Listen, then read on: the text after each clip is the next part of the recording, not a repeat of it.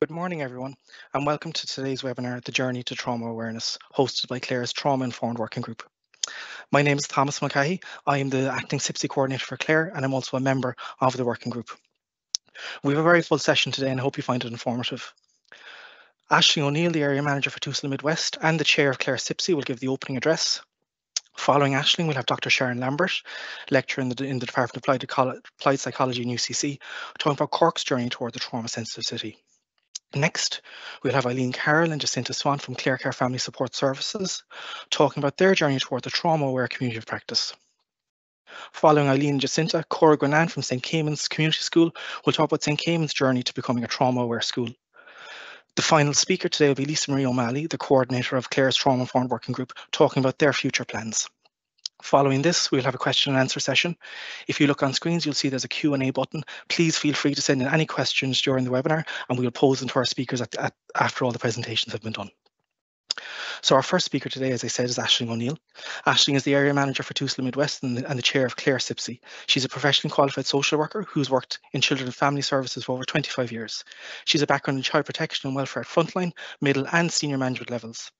As chair of, of, Clare's Children and Young People Services Committee, Ashling has overseen numerous projects aimed at improving outcomes for young people, including 2022's Trauma Informed Practice Conference. Welcome, Ashling.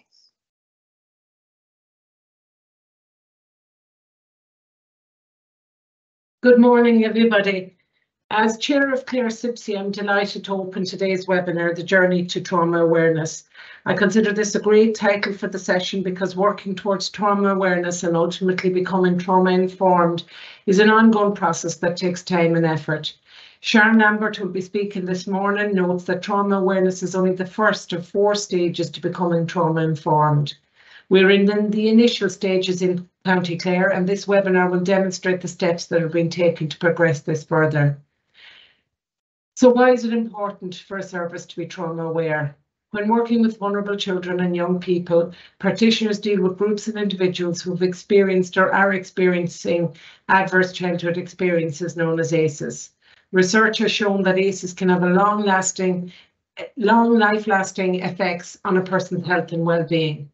People who've experienced four or more ACEs are likely to have much more challenging life experiences than other people in the population. They're four times more likely to have engaged in sexual intercourse by the, the age of 15, four and a half times more likely to experience depression than the rest of the population, 11 times more likely to engage in IV drug use, and 14 times more likely to have attempted suicide.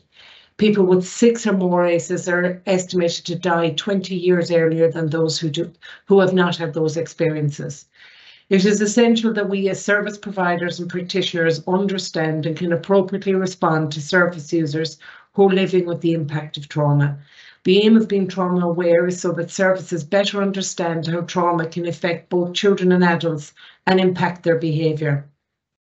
This is the baseline to allow frontline services to establish positive strategies that support these individuals in a trusting and respectful manner. To give a brief background to the efforts made in County Clare on this journey, Clare CPSI first committed to ensuring that organisations and practitioners in the county are supported as they work towards trauma awareness and trauma-informed practice. This was identified as a priority area in Clare's Children and Young People's Plan, Clare CPSI's Children and Young People's Plan, with the objective being to enhance practitioners' skills in the area of trauma-informed practice. CPSI established a trauma-informed working group in 2022 with the ISPCC acting as a lead partner agency. The group included professionals across a number of organisations, including CPSI, the ISPCC, TUSLA, Shannon Family Resource Centre, Clare Care, CAMHS, Clare County Childcare Committee, CLDC and St Caimin's School. Their mission was to develop a county-wide trauma-informed, trauma-responsive strategic plan and to develop an action plan with specific targets in place which works towards developing a county-wide trauma-informed training and resources plan. Once established, the group completed a needs assessment in County Clare. Survey responses from over 100 practitioners in County Clare demonstrated the need and a desire for upskilling about trauma-informed practice. Just over half of the respondents answered that they had never received any form of training or briefing about trauma-informed practice. Almost three quarters did not feel that they had sufficient professional knowledge of this topic, and a further 86% expressed interest in professional development in this area. Addressing the lack of sufficient professional knowledge, the working group set about researching and gathering material relating to trauma-informed practice, which they developed into a Padlet, which is an online resource which includes relevant information for practitioners, links to online trainings, reference templates for both organisational managers and school educators, podcasts, YouTube videos and other forms of media. Finally, it includes information on vicarious trauma and self-care, reminding practitioners of the importance of their own health and well-being. This Padlet is freely accessible to everyone and has a wealth of resources to assist the practitioner and organisations on their trauma awareness journey. Lisa Marie will talk more about this later in the webinar. Next, the working group organised a conference which was held this time last year. The Trauma Informed Conference was attended by over 100 frontline staff and management in County Clare. Speakers included Aideen Brannock, Clinical Director of the Sensory Attachment Centre in County Down, who spoke about best practice approaches to trauma in childhood.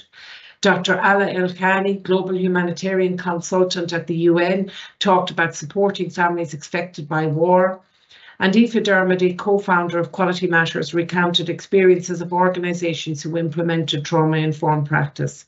The conference was very well received and served to reinforce the commitment to developing trauma-informed practice and highlighting the desire for support for services to become trauma aware. The working group has continued its work in the background since then and secured funding through Healthy Ireland funding and the Clare CIBSE to source additional training. They have been linking with colleagues in other counties and in other regions and national services to identify opportunities for shared learning in Clare from other trauma awareness initiatives around the country. Members of the group have attended various training sessions, seminars and conferences on the topic of trauma, both in person and online, to identify training that can be specifically adapted to meet the needs of practitioners in County Clare. Later in this session, they will update you on their progress. Of course, their latest output today, this webinar, has been, been another avenue that they have progressed and has been quite the journey to organise and arrange. Each of today's speakers will talk about their journey towards trauma awareness and the steps they've taken to reach their goals. Sharon will talk about Cork City's endeavours. Cora, Eileen and Jacinta will mention small practical elements that they're able to implement daily in, in daily life in their facilities. For those of you who are listening, your next step in this journey may be broad and far reaching. For others amongst you, it may be just one small step. Every step, no matter how small, is a step in the right direction. This can have a huge impact for our service users in how they experience our input into their lives. It can help us interpret their behaviours with understanding and kindness and deliver skilled responses that meet need in better ways. Thank you all. I hope you enjoyed the morning.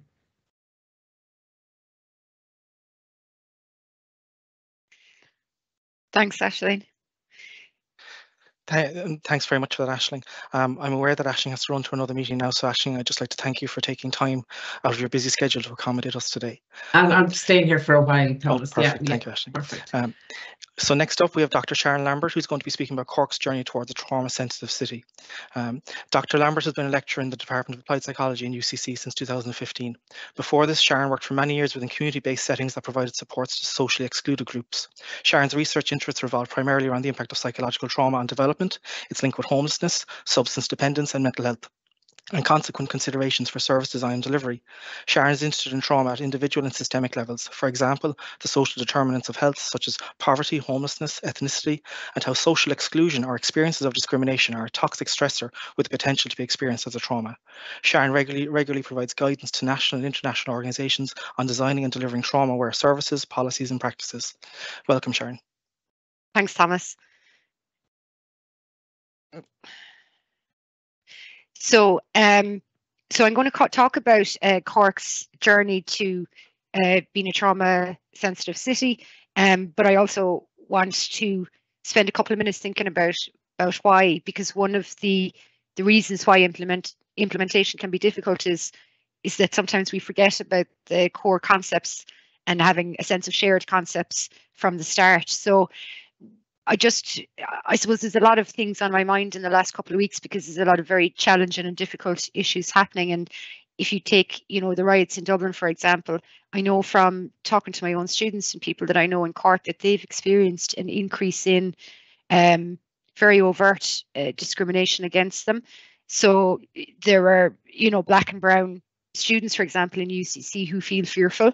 So there are constantly challenges going on in our environment that we need to be mindful of and how they fit in with with the the kinds of things that we're talking about today. So when we think about trauma, it's very easy to recognize some traumas because they are you know horrendous awful events. And often when people think about trauma they think about the kinds of things that happen interpersonally.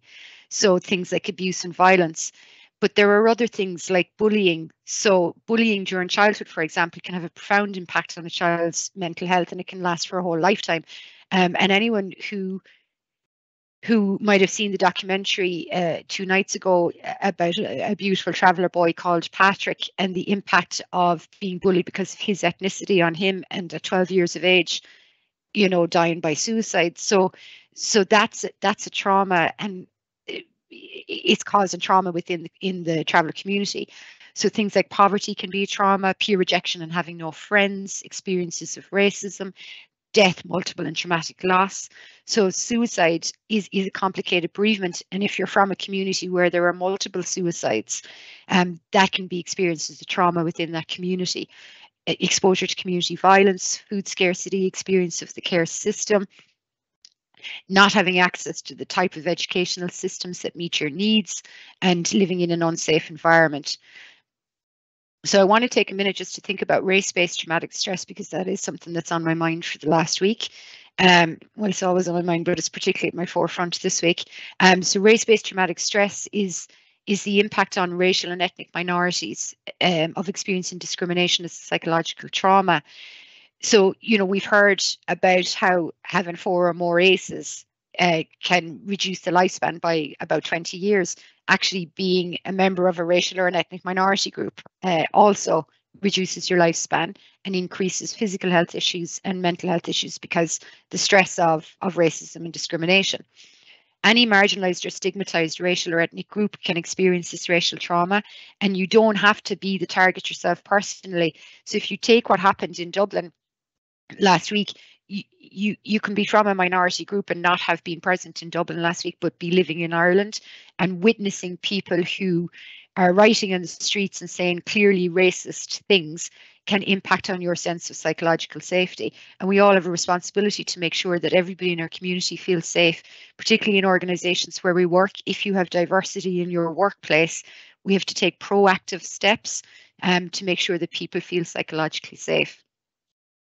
So I'm not going to go through this, but I suppose the reasons why somebody, why a county or a city or an organization might want to become trauma sensitive is because they do recognize that experiencing psychological trauma and toxic stress impacts on thinking and behavior. So, you know, sometimes it can be a view when you're talking about being trauma sensitive that you're being really soft um, in the face of what's sometimes being described as challenging behavior. And that's not what being trauma sensitive is about. Trauma sensitive is about understanding the neuroscience and the neuropsychology behind the impact of stress and trauma on the brain. So when people have experienced chronic stress, it the brain becomes wired to scan the environment for danger. So even when there isn't any danger, the brain is on alert. When the brain is on alert, that means people are going into fight or flight mode. So some people disengage from services or or they're seen as not motivated um, or not trying hard enough. So they're the people who are in flight. And then you have the people who are in fight mode. So they're the people who are described as being challenging. Um, and a trauma sensitive service understands then that that's you know something that just happens in somebody's brain it's a normal response and we try to design and deliver our services to make sure that we meet the needs of everybody. So in the face of that then you know if you're dealing uh, in if you're working in an organization where you're dealing with people and trying to support people who've experienced a lot of trauma and stress um, they do bring challenges. And sometimes there's a kind of a two-pronged effect in terms of how that can impact on individuals within the organization and the organization itself. So if you're working in an organization where people tell you about their challenges and their difficulties, it can be really hard to to bear witness to the really horrendous situations that many people are dealing with and that can have an impact on the staff members mental health also if you're working in a service where you're dealing with people who present as as being emotionally dysregulated aka challenging so if you have somebody who comes in who's angry because they're upset or they're frightened um, that can impact uh, on us as workers as well so we have to be aware of the exposure to, to, trauma within our communities and how it can impact on staff in terms of compassion fatigue, secondary traumatic stress and burnout. So once that starts to impact on staff, um, that starts to impact on the organization. So you can have high staff turnover, you can have long periods of, of illness, staff illness. And also, if you have a bunch of people who are working together who are all really stressed, it has the potential to cause HR issues because people start not getting on with each other because they're all really stressed. Um, and that's a function of stress. So we all have to be on, on the same page in terms of all of that. So taking into account that we know that trauma is something that happens to lots of people. Most people will experience at least one adverse in, uh, experience in their lifetime. Some people have way more than their fair share of adversity.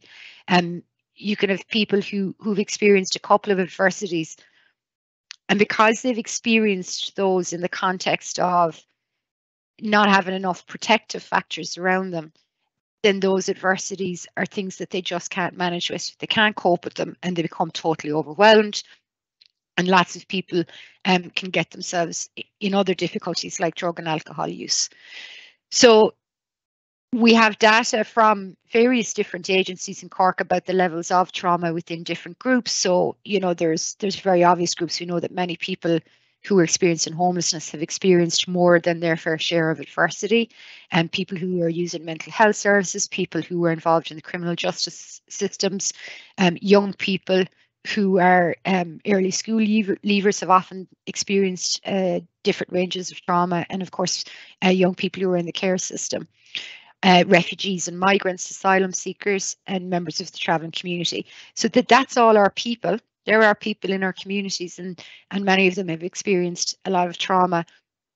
And unfortunately sometimes the people who need to access the services the most are the ones who struggle the most to access them. Um, and, and that's why you design trauma sensitive services. And the more services that are trauma sensitive and the more that are working together in collaboration um, then it starts to take the pressure off individual services because everybody's on the same page.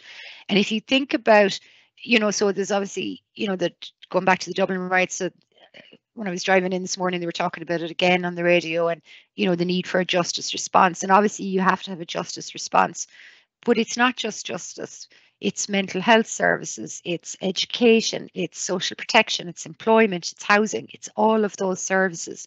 And if all of those services are tra trauma sensitive, and they are all delivering a really good service and all from the same page, we actually reduce the amount of um, people who are distressed in our communities, which makes it easier for everybody in every service and it makes your whole community safer.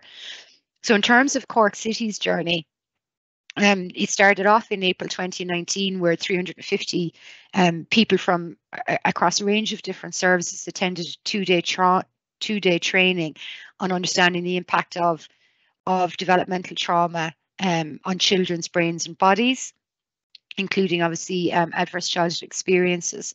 Um, after that, then people, you know, came forward and uh, a trauma interagency steering group was established. So that included people from the addiction services, the education sector, justice sector, um, public services and hospitals.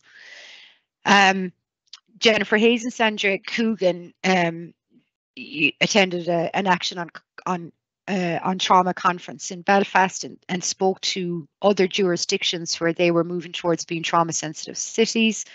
Um, we linked in with um, the World Health Organization's European Healthy Cities Task Force because they're trying to to create a, a separate task force which is trauma uh, aware cities. In January 2020, 450 individuals went to a two-day training, uh, again on, on adversity and uh, trauma and the need for, for cultural sensitivity. In September, um, they rolled out the um, screening of the, the movie Resilience to a number of different organisations, including youth workers and family support workers. Um, since January 2021, there have been monthly steering group meetings, um, bringing together, you know, all of the agencies in the city who said that they were interested in doing this and having input. Then, so so when we have our our steering group meetings, we're we're doing two things. One is that we're talking about our plan, and then trying to keep the motivation going um, by having somebody who's further along in their journey coming in to talk to us. So, for example, the Lancashire Police came and spoke at one of those. They are trying to make their area trauma aware, and that was actually coming from the policing sector because they were starting to consider violence as a public health issue and how people who perpetrate violence and people who are who are victims of violence um, experience negative health consequences as a result of violence and seeing perhaps intergenerational trends um, in terms of people who were presenting to the services. And then in October, there was a six day, uh, 2021, there was a six day pilot training. So 10 schools and two completion um, programs received trauma responsive education training. So it was specifically tailored um, towards the education sector, and that was delivered by um, Trauma Responsive Education, which is is a, a, company that delivers training. So so since then, what has been happening then? Um, so Cork City um, created its own uh, e-training module, which went up on on HSE land. And the feedback on that has been good in Cork. Outside of Cork, uh, the feedback has been it's very Cork centric. Um, of course, that would be a Cork thing to do, would be to make it very Cork centric. Um, so that's available on HSE land. And then there's a community of practice. So the original steering group was made smaller in order to make it more effective because sometimes when the group was too large, there was not as many things were being followed through on as, as they should have been. So now there's a smaller group. Um, a pledge was drawn up so a pledge was drawn up that said, you know, what your organization committed to doing. So you can't just turn up and say, our organization wants to be trauma sensitive. You have to sign this pledge and say that you agree to, you know, doing the following things. And then a survey sent out and, you know, to see, you know, have you done X, Y, and Z? Um, there's a trauma strategy being developed for Cork City, including a roadmap and a model of best practice. And then there's continued um, development of new partnerships and collaboration. So I think the most recent thing that was done was during the summertime, there was a trauma conference held in MTU, um, the Munster Technological University, and that was uh, supported by so HSE Social Inclusion Cork and Cork City. I suppose one of the things with the Cork Trauma Sensitive City is that this is coming out of the Lord Mayor's office. Um, so it is being driven from above. In my experience, where people try to implement trauma awareness or being trauma sensitive within their organizations, where it fails is where you don't have buy in from the top. There has to be buy in from every single level. And the other reason why sometimes it fails is when there's a crisis. So COVID was a good example. There were there were lots of organisations that were motoring along quite nicely in terms of moving towards being, you know, trauma aware or trauma sensitive. And then when COVID hit, at a time really when they needed to to ensure that those uh, trauma change teams in organizations to ensure that they were given the time and the space to continue on their programs, they ended up being pulled away and put into other different parts of the organization. And then the plan to being trauma aware was abandoned. Um, and unfortunately, it was during a time when lots of people were experiencing trauma. So it's about, you know, making that pledge that you were going to do it, having your roadmap of how you're going to do it, and then when a crisis hits, knowing that that's exactly the time that you need to dig in even further and uh, hang in there and push through. So there, there are you know different levels. So not every organization can be fully trauma informed for lots of different reasons. If you take, you know, HSE, for example, it's a very large organization. It's dictated by national policies. Sometimes some of those policies are coming from the Department of Health, for example. Um, giving you an example, you know, there's a report out a couple of months ago about how the uh, child and, and uh, adolescent mental health services are, are at breaking point but we now have an embargo on the recruitment of, of new psychologists. So a whole bunch of psychologists that were due to start working in September are not now um, because of an embargo on recruitment. So so that's all of those things are beyond the scope of of a you know you might be working in an office in Ennis, but because decisions are being made somewhere else, it's going to impact on your ability to deliver your service. So what organizations can do is just decide whether they want to be trauma aware, trauma sensitive, trauma responsive, or trauma informed, be realistic about what they can achieve and then aim for that and stick to it. So if you see Cork City has not aimed to be a trauma informed city because the Lord Mayor's office would not be able to, to control what happens in every single organization.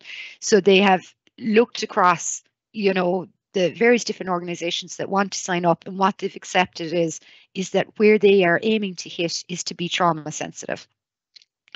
Um, so the benefits of being trauma sensitive is that you can have reduced incidents. So if you take Novas in Limerick, for example, um, they rolled out uh, being trauma informed in different pockets of their organisation. Um, they work with people who are experiencing homelessness. And if you take McGarry House in Limerick for, as an example, it's a low threshold um, service. So you have people there with quite chronic mental health and addiction issues who've experienced trauma and other social difficulties. Um, they saw a huge reduction in the number of incidents where it was, you know, service users aggression towards other service users or service user aggressions towards staff. Um, you have less staff turnover because you have less burnout when you um, understand the impact of trauma across the organisation, not just in the service users, but its impact on staff and its impact uh, on the organisation in as a whole. Um, you have less um, people out on sick leave, reduced HR issues, and less public complaints. So the only way that'll happen is by having an organizational culture that really embeds it, um, making sure that staff are given appropriate resources to be able to manage their, their stress and their trauma. I have worked in frontline services. I wasn't Mary Poppins every single day. Sometimes I was really tired or I had my own stressor maybe from my own personal life, which reduced my ability to have compassion for others. So that makes me a normal human being. And then if you're going into an environment where I might work with somebody, you know, who comes in upset. And what does that look like? They might tell me to fuck off and mind my own business, but they're traumatized and they're upset. So if I'm not at my best, my ability to handle that is not as good. Um, so I have to ha have access to really good supportive supervision structures organizations need to do reflective practice where you're really really honest if you take cork city as an example the week that the e-training module was launched um, within a couple of days i happened to be supporting a family who were at risk of experiencing homelessness and they had a very very unpleasant and extremely negative experience trying to use a public service in cork which was connected to uh, city hall. Um, you know so we had to have well when i say we i rang up given out and for them to be able to be a trauma sensitive city you have to be able to hear what's wrong, what's not working. You have to be able to hear it in a non defensive way. We don't get things right all of the time. If you're not having awkward conversations about your service, then you're not doing it right because there's no way um, that everybody's happy all of the time. Um, at a minimum, we need to be trauma aware and stick to that. Um, and we also need to practice self compassion. You can't be reflective if you're not compassionate towards yourself. Um, you have to be able to acknowledge that sometimes we make mistakes. We have to be able to forgive ourselves and we have to take care of ourselves. So that's it. I've run out of time and I better stop now before Thomas starts sending me messages. So thanks very much.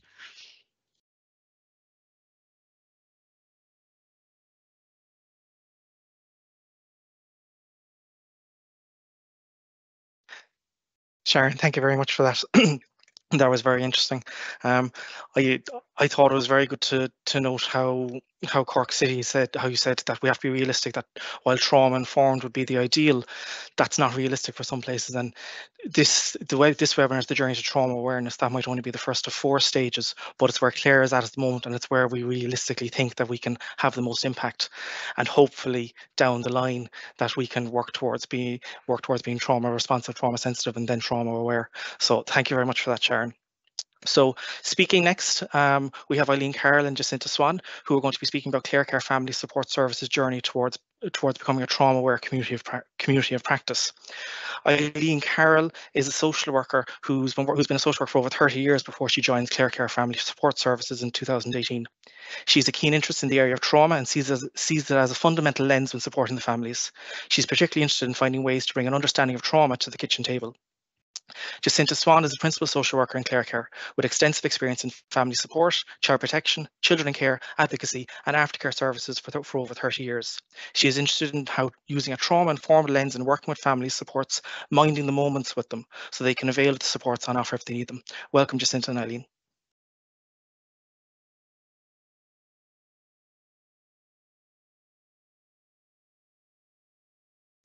Yeah, okay. Hi, thanks, Thomas. Um, thanks a million, Sharon, for that really interesting talk. As a good Cork woman myself, I'm delighted that that's happening in Cork. And also, we loved the Cork e-learning um, module as well, so that might explain um, our, our involvement with it. Um, I suppose just uh, we'd just like to thank every, the committee really for inviting us to talk today.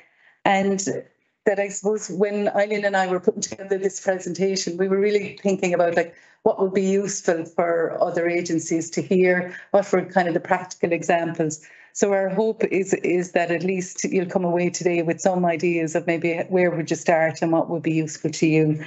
Um, our presentation is going to take you through the journey of what we embarked on since 2020 to become more tra trauma aware and we'll briefly give some context about how, how we began, um, which was in particular about relationship-based practices where, where we started.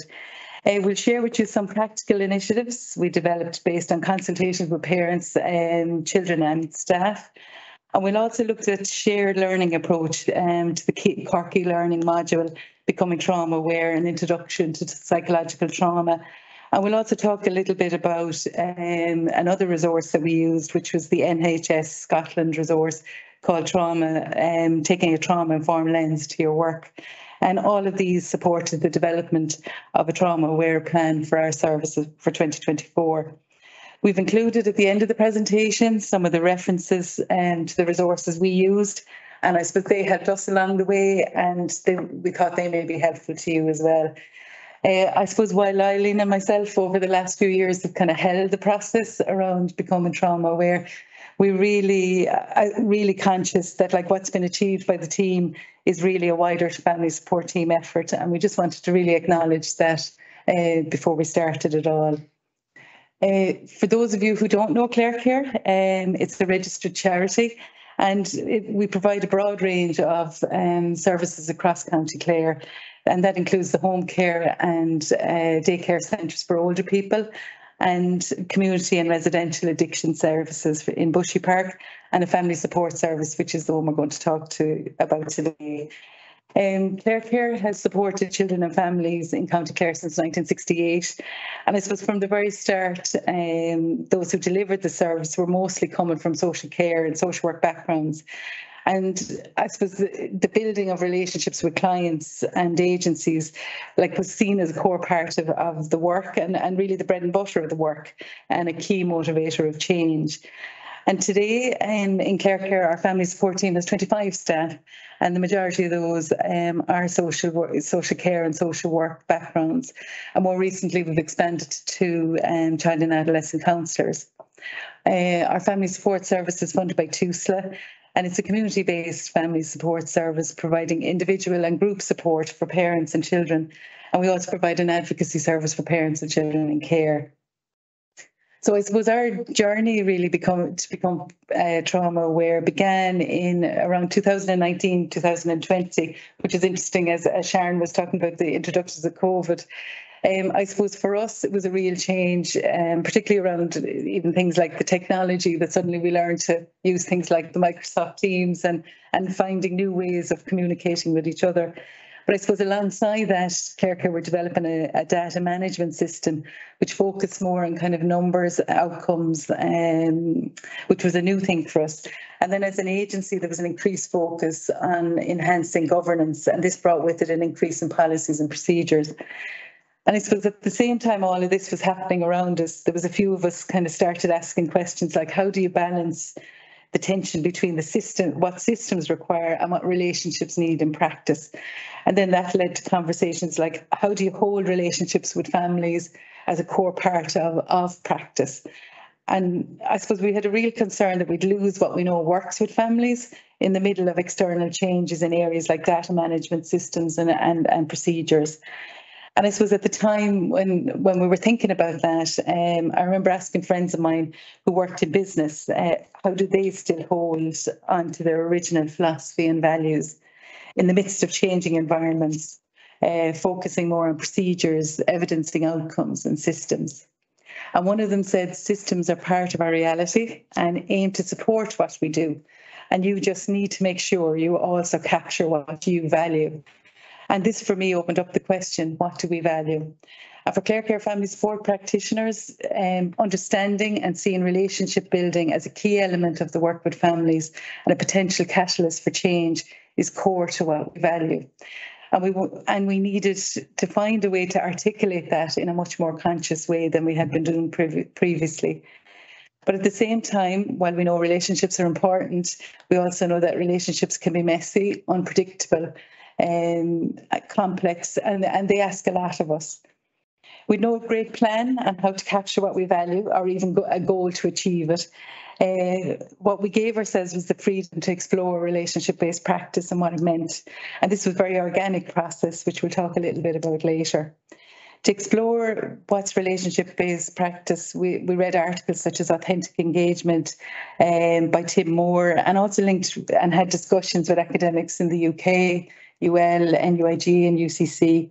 And I suppose from this exploration, we learned um, that relationship-based practice is essentially a way of being.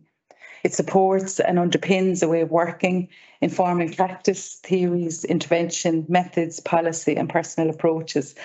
And I suppose understanding that gave us a language to explain what we do and it validated relationship building as part of our work.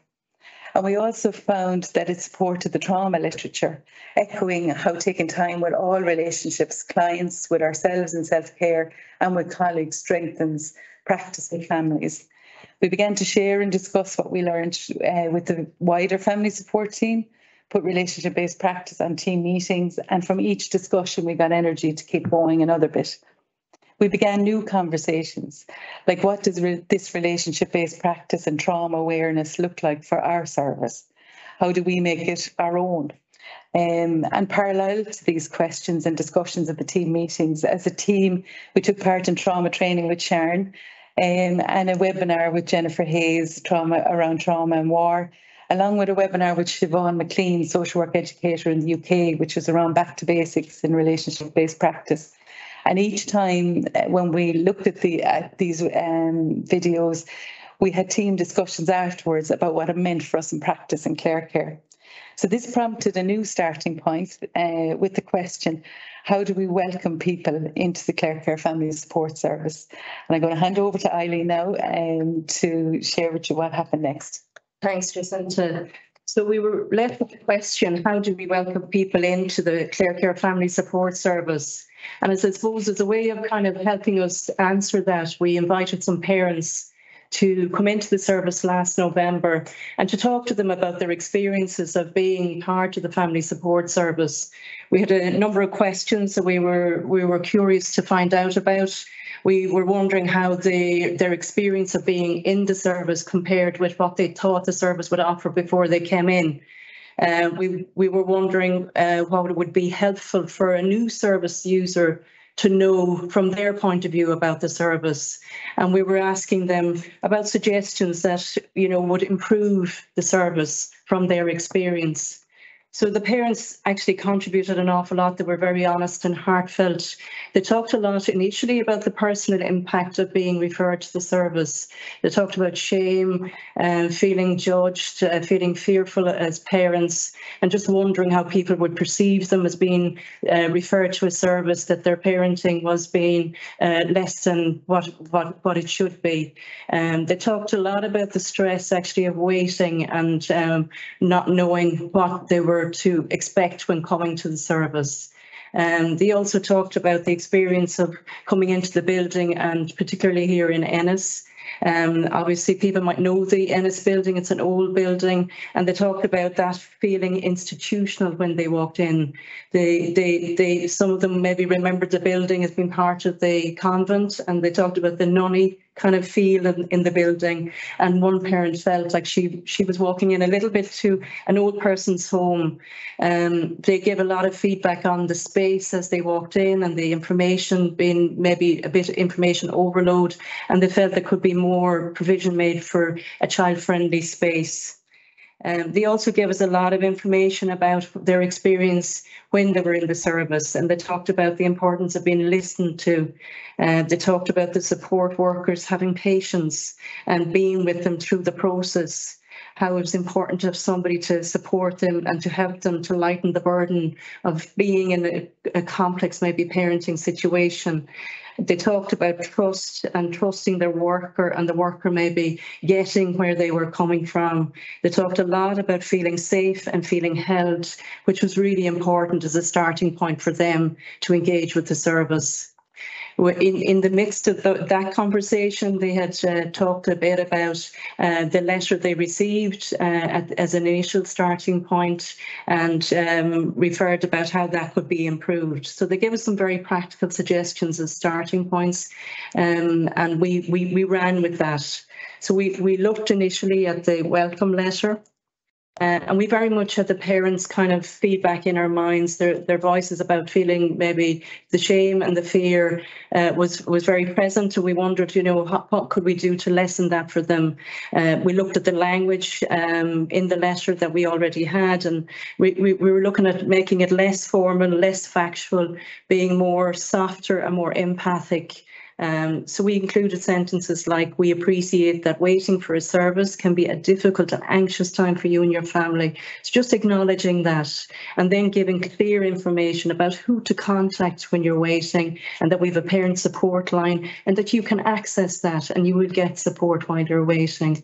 We also give um, much clearer information about the support that they could expect when they came to the service so that parents could understand what was going to be involved. And we talked about the voluntary nature of the family support service.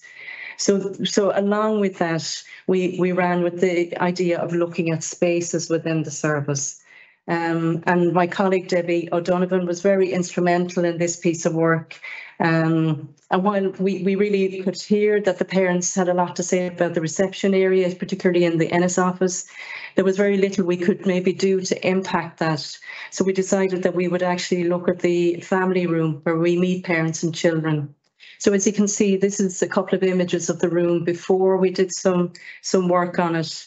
And we were talking uh, about what we wanted in, in considering what we would need for this space.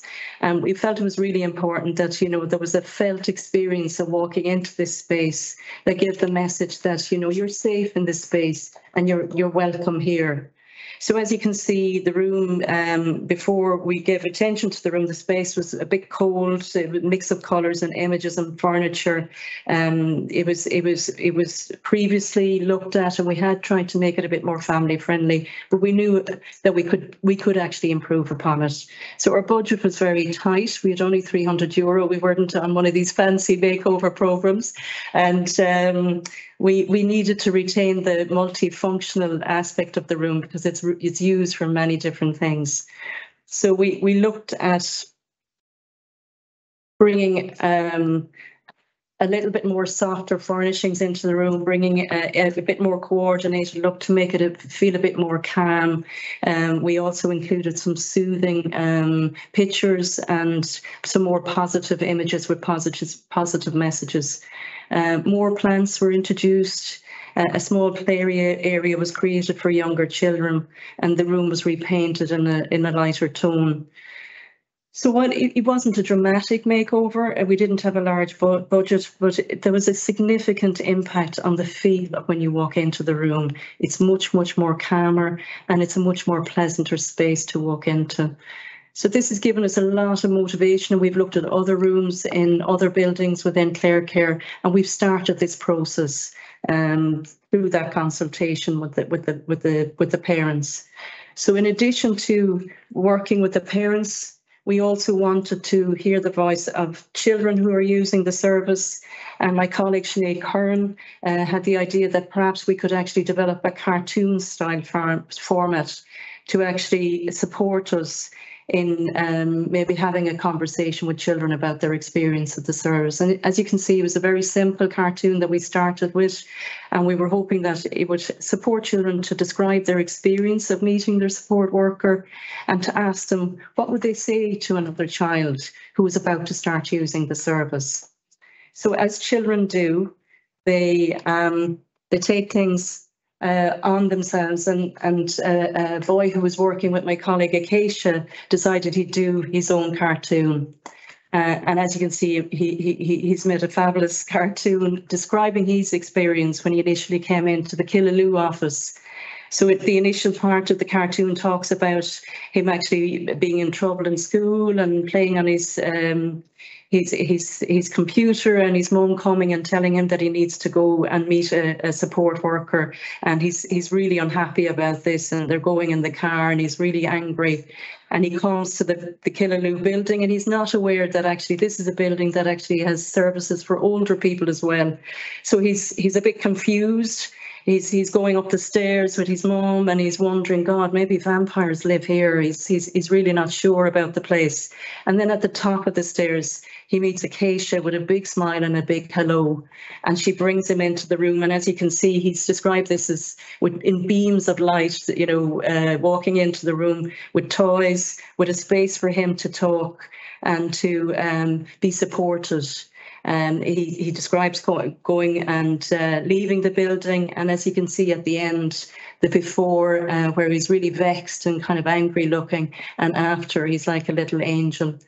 So I suppose for us, it was an awful lot that we felt that this this um, child was telling us um, we felt that we could develop supports to help parents to talk to children a little bit more about what to expect when they're coming to the service uh, so the parents can actually be prepared themselves and also prepare the child. We can use much more visual information to support children. We can use photos of a support worker. We can use photos to describe the building they're coming to and photos of the space that they will be in. And all this uh, will alleviate any anxiety and stress that a child and a parent would have in coming coming to the service. So that level of con consultation uh, was really, really supportive and helpful to us. So while all this was going on, we were very aware that um, as a staff team, there was a lot of different people at different in different places and with different levels of understanding around trauma awareness. Um, some staff had done specific training themselves. Some had done their own reading and learning online. Uh, and as Jacinta mentioned, we had done some uh, session with Sharon and we'd also done a, team sessions looking at Jennifer Hayes' uh, webinar and um, you know, we had started a little bit in coming together, but we wanted a place for all of us to start as a team. So as Sharon had mentioned, we had uh, found out about the Cork e-learning Becoming Trauma Aware an introduction to psychological trauma through the CPSI group here. So we, we what we had suggested we, we would start with this as our starting point as a team and all staff completed that e-learning module on HSE, HSE land. So in, as a follow-on to um, all staff being um, completing that model, we were very, I suppose we were very aware since COVID that a lot of us have sat on our own in our offices um, doing e-learnings And while oftentimes, you know, we're, we're learning information and we're, we're trying to make sense of it on our own. Um, if, if, if you're trying to maybe tell somebody about something you've done a month later, you might not have been able to put it into your own words. So we really wanted to create a space where we could actually start to say, well, what does actually this mean for us as a team? What does this mean for our practice? And how do we actually support each other to make sense of this? Um, so we, we came together uh, in a shared learning space um, and we, we really thought that, you know, we, we, we'd, we'd discuss what the e-learning module kind of meant for us and, and our practice and what maybe might be the next steps that would inform practice for the team. So as a way of doing this, we we we we, we developed some reflective questions which we asked in a, a small group situation. So we we asked questions like what point stayed with you from the e-learning, what surprised you, anything that needs further explanation, what do you need next, what do we need next to help us inform our practice as a team.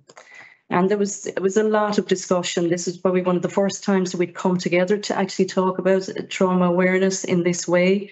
A lot of staff related some of the, the material on the e-learning to their own personal experiences. Uh, there was a lot of discussion around the impact of trauma there was questions around, you know, why are some people more resilient than others? And Sharon referred there to the numbers of ACEs and, you know, what supports somebody to come through and why is it that other people struggle more? Um, we talked a lot uh, about intergenerational trauma uh, in the communities that we work with. We talked about building relationships and the difficulties about building trust and a lot, lot more it was a really um, enriching uh, start to looking at this area, and um, we were we were we were we were also conscious of trying to capture um, where where people were at in their own learning. So we we did a training audit as well that day, and out of that. Discussion and, and, and understanding, we uh, we learned that two members in the team had actually done specific training themselves. So we we we agreed that we'd have further shared learning with those two members giving an input to the team. Um, so Debbie O'Donovan had completed the UCC Continuing Professional Development in Trauma Informed Care Theory and Practice Certificate. And Debbie spoke about her experience of using Dr. Marie Lotte's thermometer of regulation as a reflective tool, both in her practice and in supervision. And I think Sharon there spoke about the importance of um, self-care and self-reflection and supervision spaces, and also to look at how we can maybe find ways to, to support us to kind of get a sense where we're, where where where are we at? And and Debbie has used this tool very effectively um, in her work. Uh, Jackie O'Brien had completed a Child Psychology Institute working with children who have experienced trauma, which was facilitated by Lorraine Lynch. And Jackie spoke about the importance of regulation supports for children as a key first step in uh, supporting a child and in supporting a parent.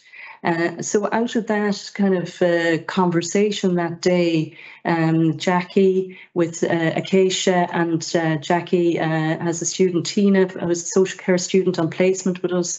They started to look at the whole area of regulation and um, connection for children and parents and have started to develop regulation and connection support resources for, for families.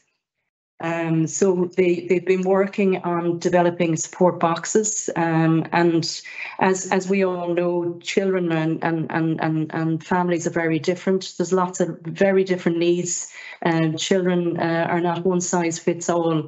So there's some suggestions here as what might be helpful, but we very much would be advocating that these resources are uh, looked at in conjunction with the family, in conjunction with the needs of the child, and to see uh, what would support them.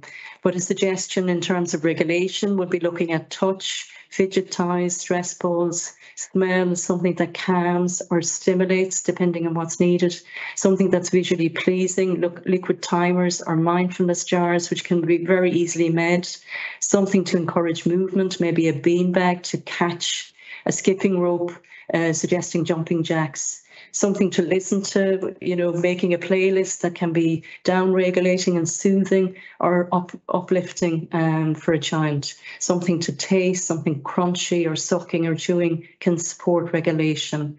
And then obviously with, with regulation, there, there's more opportunity for connection for a parent. So building in that connection uh, point as well with board games, storybooks, decks guitars, film nights with hot chocolate, breaks from the screens with treasure hunts or a walk in nature, breathing exercises, uh, and mindfulness colouring. So these were some of the suggestions that um, they came out of those shared learnings um, uh, following on uh, uh, as a team. Uh, we, we also decided that we would take a next step uh, following on from the Cork e-learning and Jacinta is going to talk a little bit more now about that. Thanks, Eileen. Um, I suppose as Eileen mentioned before, like like with any group, there's different levels of interest and knowledge around trauma aware practice, and staff are coming for a variety of experiences. And I suppose staff like entered the conversations at different points that made sense to them. And I think that was something that was really, really important as we we enter in different ways. Some people love the articles, some people um, like the practice, like the boxes there, or it, it needs to make sense to them. So we were very mindful all the way along that you, you were actually you needed to be I suppose inclusive of wherever everybody was at. Um, and I suppose, but we also saw like through all the different steps, and, and it was certainly very organic, and we just went from one thing to the next, that you could see the real potential to build on this, and um, that a lot had been achieved, but there was also a real energy in the group um, about kind of, God, the potential of this um, could have make a real impact on, on people.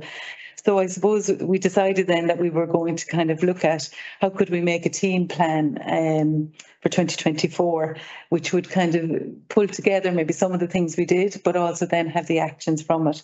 So to help us do this, um, we linked with the NHS Scotland, taking a trauma form lens to your work.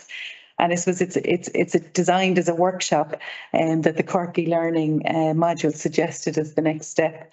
And I suppose that just in going through the workshop, it's it's facilitated by um, Dr. Caroline Bruce, and it focuses on exploring what changes you might want to make in your setting using a trauma-informed lens to your work. And I suppose it really felt like the Caroline Bruce was with us in the room.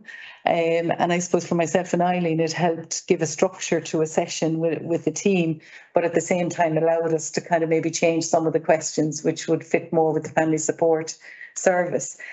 And uh, the the session starts with a very powerful animation, and then it it follows when she brings us through um, five stages, which include realizing the prevalence of trauma, recognizing the impact of trauma, taking a trauma informed lens, and then applying a trauma informed principles. And for each of those sections, we divided into small groups, and then took the feedback on the flip chart. Um, Caroline suggested uh, this would take about an hour and a half. I suppose we decided because there were so many of the small groups and uh, to allow taking the feedback that we'd use the full morning, which was 10 to 1. Um, again, like as Eileen described in terms of the Cork e-learning, like the opportunities for staff to really reflect and practice what it means to them um, was a really important space and it was really, really lively. And a lot of things came up, like, uh, you know, how we even balance the tensions of child protection concerns, while at the same time you're aware of parents' trauma, um, and also the just kind of how we manage that in the day in the day-to-day work. So I suppose following on from that that workshop, then um, we collated, Eileen and I collated the the feedback, and that distilled it then down into kind of what were the kind of key areas that were coming up, and what came up was around buildings, communication, practice, and consultation, and then with actions identified, potential actions identified out of each area. And I suppose as we were grouping then the, the actions, we were really conscious of the trauma informed principles of providing safety, choice, trust, empowerment, and collaboration. So the process hasn't been finalised. We're going to meeting in January and um, to pull together um, how where myself and Eileen got to, and then to try and make an action plan together for 2024. So I suppose eh, in, in trying to pull it all together, when, when Eileen and I start reviewing the process of becoming trauma aware service and, and, and the process that we as a team had gone through, there were key phases in that process. And it started off really with an openness to explore. There was no prescribed destination apart from trying to understand and improve practice with, with families in, in, in our in our service. So we had questions and we were open to explore. I suppose the next stage was gathering the information, and I suppose there's so much we've learned, no more than the information that's on the Padlet that CYPSC have put together. There's so much information out there. It's and some of it's so good, and, and most of it's actually available for free. But it, but it's also about deciding what's useful for your service, what's the fit, and alongside the information that's available, uh, like I suppose what was key for us was the spaces to review and understand it as a group and what it means as an individual practitioner when you're meeting the next person in, in the day, but also then as a service, how, how does this make sense even in how we explain what we do? So then consultation was a key part of the process. Um, and I suppose in particular, we've learned so much from the parents and children we've consulted with, and they've empowered us to make the changes. So I suppose hearing their feedback was so powerful, but we also realised we actually could make those changes really simply. Um, and that, that was really important. And then we were able to feed back to them about the changes that we had made based on what they told us. So there's also the consultation with staff about being trauma, what tra- being trauma aware means in practice. And I suppose it was an opportunity to really look at like what are the real struggles and also the real wins in this work.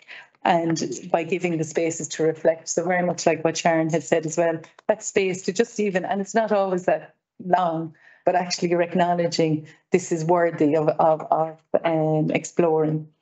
And I suppose then there also needed to be actions. I suppose we could really have got so easily got lost and be very overwhelmed actually in the literature and the endless possibilities without making it real to our service. And and I suppose that part was kind of like it could have got so complicated that we become paralyzed. So we we were trying to really make it kind of small actions, one step at a time, and then see what happened. And I suppose these actions can be so simple, but I suppose our experience has been they've been really effective to help people feel safer and more empowered within our service. And from these actions, just like the cartoon Eileen described, or, or the trauma informed plan, you have opportunities then to go and explore again. So whatever comes out of that, you can you can kind of look at it again and then see what information we need, see who we need to consult with, and then you have your next round of actions. So the process continues. So I suppose that's our journey so far. Um, like really for us as a team in, in Clare Care, it's been really energising um, and confidence boosting for us as a team. And I suppose it's really allowed us to hear and see the experience and knowledge that staff on the team have and then being in a position to share it with others. Um, it also provided us a way to balance uh, the tension between systems and practice, um, which I described at the beginning. And I suppose we, we've really seen how the systems have begun to work to support our practice. Um, so I suppose just when we started off, this was one of the quotes that that we had seen, which which captured really how we see it. And I suppose now, these few years on, it, it it's become even more more important actually for us. And I suppose it's about knowing all the theories. You can master all the techniques, but as you touch one human soul, be just another human soul. And I suppose it's for us to remember that piece as we meet the next person in in the day. So I'd just like to say on behalf of myself and, and Eileen, thank you so much for listening to us today and giving us this space. And we have uh, um, any of the resources are available at the end and um, please contact us if you need any other information. Thank you.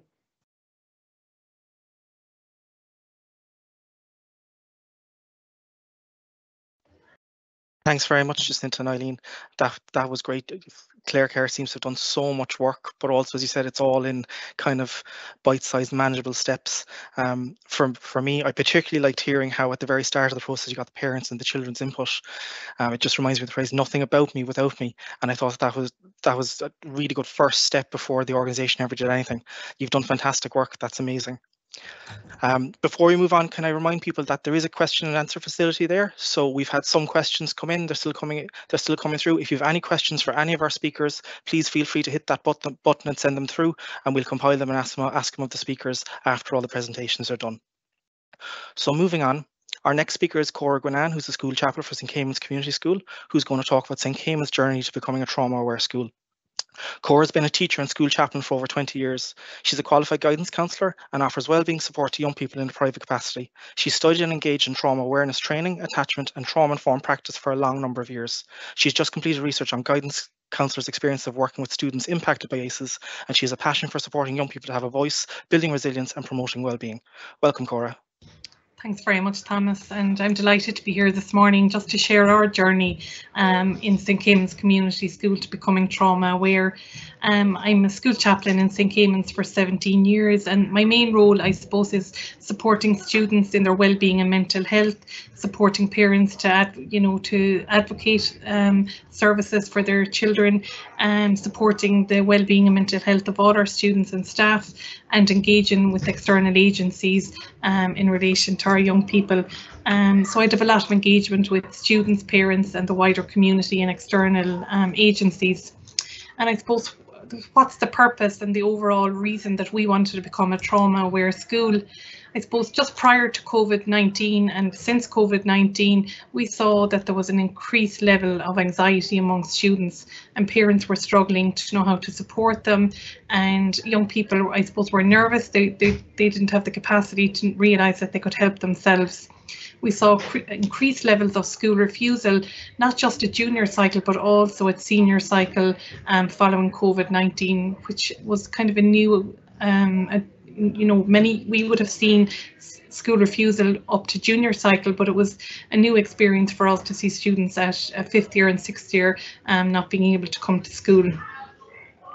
Um, we had seen an increased need for individual um, pastoral support for students. Um, the number of young people seeking support and needing one-to-one -one support had increased and we were struggling to cope with the numbers that needed it. We had seen that there was a lot of young people that had reduced levels of resilience and lack of capacity to cope um, we had seen an increase in the number of students with tendencies um, associated with ADHD, um, but would had no diagnosis. Diagnosis, and you know, we had an awareness that young people who were experiencing trauma often had many of the um, traits of ADHD, and we needed to, you know, support these young people and we saw that there was growing social issues within families and within the community and we we knew that we needed to change our approaches in how we supported both the young people and their families here in St. Caimin's. Um, last year I also did some research and I suppose the the topic of my research was an exploration of guidance counsellors' experiences of working with students impacted by adverse childhood experience. And although I'd done a lot of research before and I'd done a lot of work around trauma and attachment, um, I suppose some of the um, the, some of the research and some of, I suppose, the evidence that I got from meeting guidance counsellors all over Ireland were, was eye-opening. Um, I found out that no training in teacher training colleges about trauma or the impact of ACEs is currently done in any of um, the courses that are training teachers. The impact of ACEs is lifelong on educational, emotional, physical and social development. We knew that school could be a protective factor um, for many young people and the progression for students impacted by trauma can be so complex and many students due to school refusal, literacy, numeracy, um, just social issues that their progression post um, secondary school was very complex and many of them didn't progress at all we um, addressed the benefit, we, I suppose I saw the benefits of having one good adult in a young person's life and how it can change their trajectory and school was one of the best places to have that relationship and for teachers and mentors and SNAs could be that one good adult. Um, we saw that the collaboration with outside agencies to support students is needed as a matter of urgency. Um, this is very complex and I suppose most young people that engage in one-to-one -one support are engaging with outside services and it was trying to get collaboration with all these services to support the young person. Um, we, I discovered that there was greater resources needed within schools, personnel and expertise, so that a lot of teachers may have had an awareness of what trauma is, the impact of it, but a lot of them hadn't engaged in training um, because it's not directed by the Department of Education. So it was at the discretion of the principal or student support teams or critical incident teams within the school to choose whether that was an option that they wanted to do for themselves. Um, also, we had seen through our student support and our behavioural support programme here in the school the impact of building relationships. So both our student support and our behavioural support was very person centred, was trauma informed, it was done through a trauma lens. And when we, I suppose, when we looked at the pupils who'd engaged with student support with me and the guidance counsellor and our two behavioural support teachers, the positive changes in the students' well-being, their mental health and their behaviour was dramatic. And students, when we, you know, we, we did a little bit of research with students and evaluated and reviewed how they how they found, you know, engaging with the student support or behavioural support, it was so positive and so beneficial and we learned quite a lot from that. Um, and I suppose coming from that then, we saw that we needed to become a school that moved from being reactive um, to being proactive in our responses to trauma. Um, it, you know, over time we had seen that, you know, if we knew there was a student in difficulty or had, you know, issues, we would throw all the resources we had at that student. All teachers would be aware they would interact differently with that student and we would give every support that we possibly could in all various different initiatives and we had seen the benefits of that across the board and we knew that if we took that approach to all students in the school that the, there would be a, a, bigger impact and so we decided that we needed to interact with all students um, from a trauma lens. Um, we realised that we needed to have a basic understanding of the impacts of trauma so that students can be supported to engage in school and in various learning experiences. And we knew that, that the one good adult and that all teachers and all members of our school staff and SNA and the caretakers, the auxiliary staff, the secretaries, that those interactions were just equally as important. And we wanted to be proactive in creating a school environment where students can attend, feel safe build relationships and be supported to reach the potential. And that was, I suppose, the, the main purpose of why we wanted to move from reacting to individuals who were having difficult times to having a school where all students could feel that. So what, what were the initiatives? I suppose we're at the very early stages and we knew that most of our staff would have had limited ability, some are not limited ability, but limited awareness around trauma awareness and trauma informed practice and the impact of trauma. And some teachers um, would have had very little knowledge around it. But we felt that that wasn't, we shouldn't just stop and wait for everybody to become trauma aware. We wanted to kind of be proactive in our approaches. So we started our process and as I say, we're in the very early stages of it. Um, last year, all our senior management, that's the principal and deputy principals, our student support team, um, completed the NEPS e-learning training, and that's an introduction um, to becoming trauma-informed approaches, the stress factor, getting it right, and that was delivered by the local NEPS team um, in, Clare. Um, then in our, as part of our Croke Park hours in August of this year, we invited NEPS back in to do a watered down version of that e-learning training to introduce staff to trauma, the impact of ACEs and how students are impacted and the student in their classroom, how they may present uh, um, as a result of being impacted by trauma we set up a trauma um, working group here as um, in the staff. Um, so staff chose to be on that and one of our senior management is on it as well and I coordinate the team. We sent links to training by NEPS, the Cork e-learning training, the Padlet by CYPSC and various other um, trainings to all members of staff because following the training um, of all staff in August, many teachers had come looking for extra training. They were really wanted to engage in it. It made sense to them. It made them understand why certain students were behaving or acting or in a certain way. And th there was huge interest in it. Um, we've been a restorative school for a number of years, um, so most of our staff are trained um, in restorative practice. Um, Some of us from the Trauma Informed Working Group here in the school joined the Trauma Aware Community of Practice for Schools and by Sinead Collins and we got a lot of information from that about other schools were far more were far further in their journey of becoming trauma aware.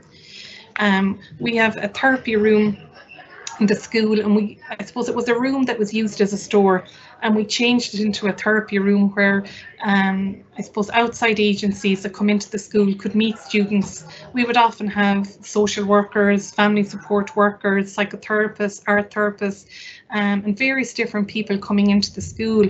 And when they come in, we'd be trying to find a room. We'd be like, and sometimes they could be shoved into any room or any office that you know wasn't suitable.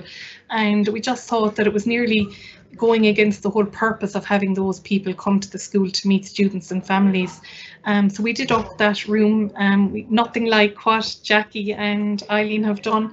Um, we're in the process of it, but we did it up nicely. We put nice comfortable chairs, blankets, heaters, cushions, and we had therapeutic boxes um, with sensory toys in it, with nice lamps and a plant.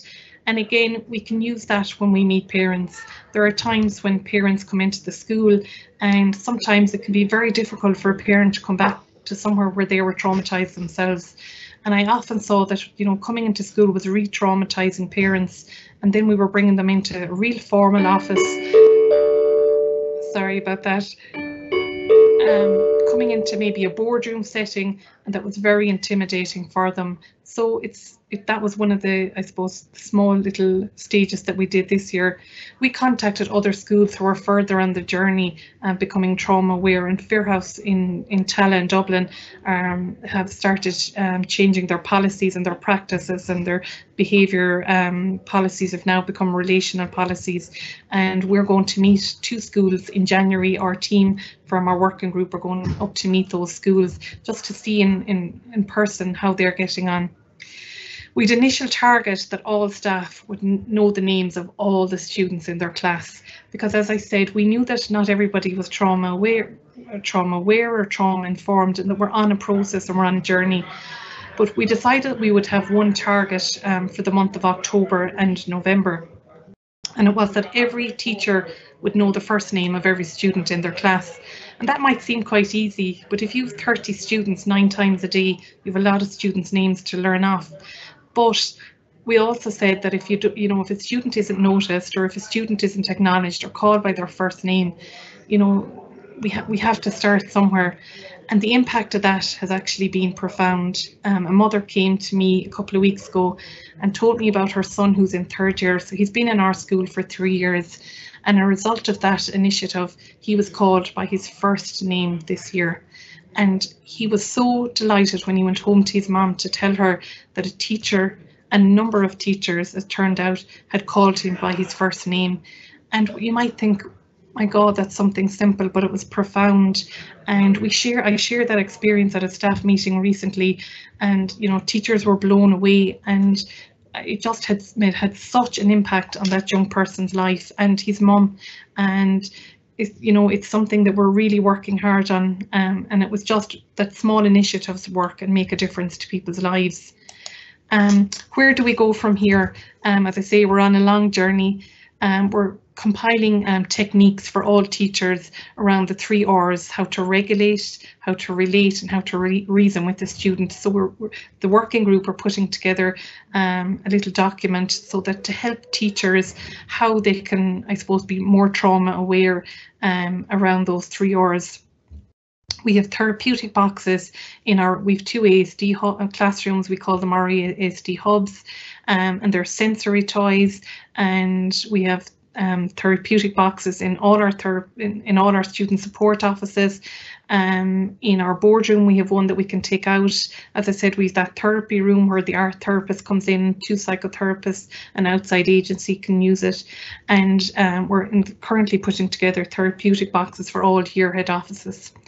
Um, we've just, um, our application to get a therapy dog has been accepted. So we'll have a therapy dog, dog, a therapy puppy joining our school next week.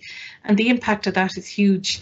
Um, last Friday, the trainer from My Canine Companion brought her therapy dog in around the school and there was one student who's um, has autism, and she's not in our autism hub because she's in first year, and we don't have a first year autism class this year and that student rarely speaks and school is so overwhelming for her that she finds it very difficult to interact and I had met her on the corridor um, when I was coming down with the lady from my canine companion and she came into my office, um, the little girl, to see the dog and she stayed for the whole break, which was 15 minutes, and she never stopped talking. And it was just, she was so regulated, she felt so safe um, with the dog there, and she told us all about her dog. So the impact of therapy dogs are huge. Um, we're involved in a consultation um, after Christmas with students and parents about how they think that we can become trauma aware and how we can support, um, you know, becoming trauma aware in the school um, because it's important that we've all stakeholders involved. Um, all our interactions, so all our meetings with students, all our meetings with families and with parents and guardians and outside agencies, all our meetings, be that um, working groups or staff meetings, are all now through a trauma lens. And that's the hope that we're working on that. Um, and that trauma awareness is now on the agenda for all staff meetings um, we've decided this year that we're not going to look at policies, that we're just going to try and get little things right and get training done this year. But uh, next year, we're going to look at our policies and how we can make them trauma aware. And that's where we want the parents and students to become involved in that. So we're on a journey. We have just begun. We are committed to making our school a safer, more holistic environment where students can reach their potential and um, I'm if anybody has any questions or I can share any of what we've done here in the school, um, I, I'm more than well. You can contact me or contact ask questions at the end. And I've shared some resources here of some of the um, training we've done, some of the schools that are far more um, advanced in their trauma aware journey. And um, so thanks for listening.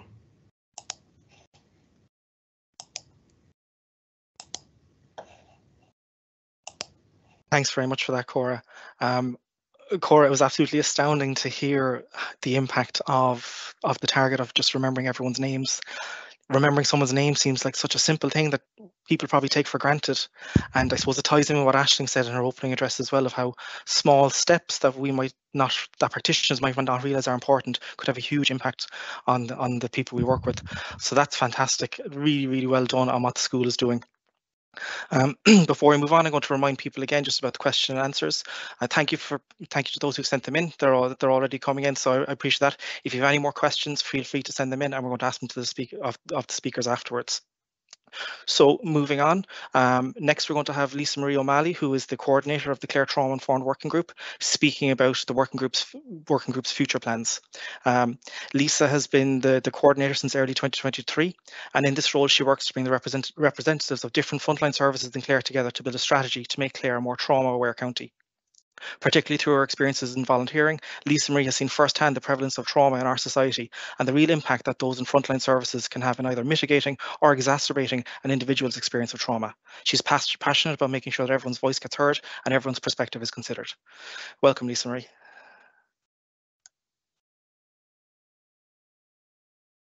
Thank you, Thomas. Hello, everybody, and thanks again so much for all of you for joining us for the webinar today. And before I go any further, I'd just like to take a moment to thank all of our earlier speakers, Ashling, Sharon, Eileen and Jacinta, and Cora.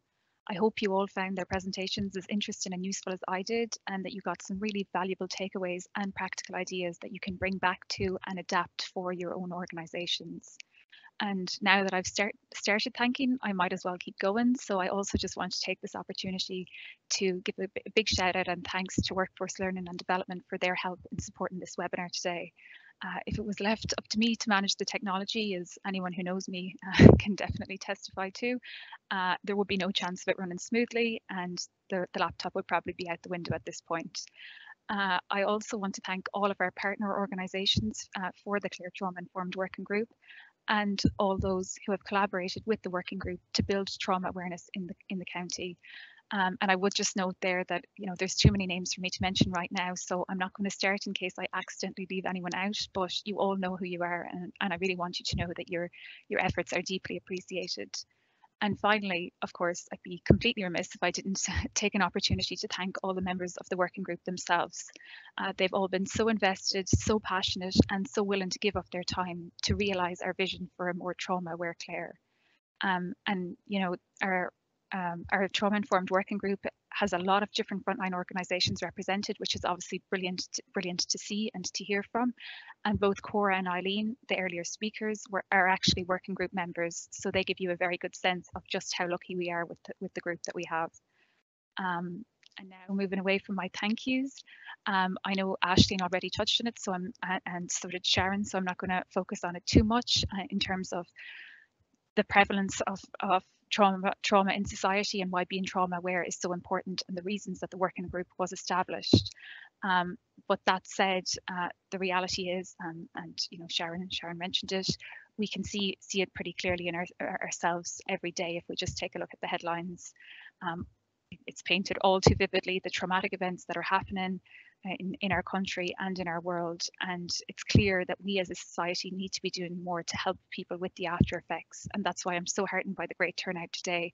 Um, and I, you know, I, it's great to see that there is that interest uh, in the topic. And it's always just stayed with me um, to remember that being trauma aware will never harm anyone who isn't traumatized, but it can make such a difference uh, in the lives of people that are. And in fact, given that it's rooted in, in relationship building and empathy, uh, I'd be of the view that it, it, can only be a positive experience for any service user, irrespective of whether they suffer from trauma or not.